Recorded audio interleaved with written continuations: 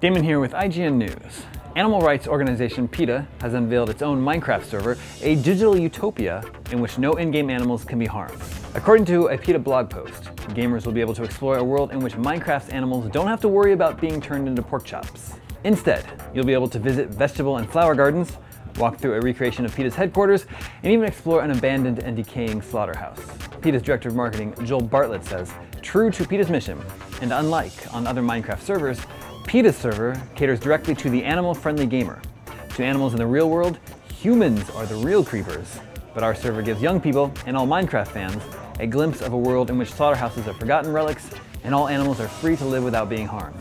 This isn't PETA's first video game protest. The organization has previously protested Ubisoft for its portrayal of whaling in Assassin's Creed 4 Black Flag, and has claimed that Super Mario 3D Land encouraged the wearing of fur by outfitting Mario in the skin of a raccoon dog.